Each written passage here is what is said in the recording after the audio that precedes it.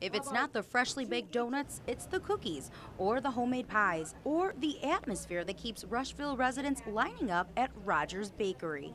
The, the people are friendly. Uh, it's just a nice, quaint little place, and it's close to town. A good place to come and visit with the neighbors and hear all the gossip around town. And It's a nice place to come visit. Perfect. See all your friends. Roger Wrench opened the bakery in 1982 with his mother. The only baking experience he had was working in a college cafeteria. The ladies that I worked with in the kitchen started to teach me how to make pies and uh, how to make rolls and stuff.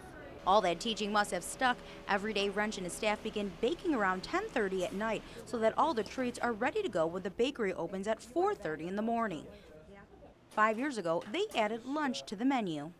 It's a cafe type lunch uh, where we offer uh, two or three sandwiches and uh, a casserole or a soup. It's all homemade.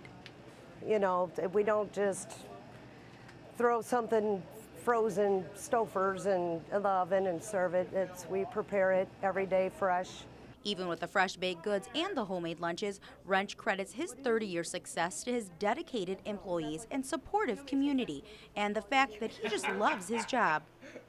I just uh, truly enjoy being uh, here and serving people and uh, having them enjoy um, good bakery products and good food. And it looks like Rushville residents are doing just that. Kristen Aguirre, KHQA News, Rushville.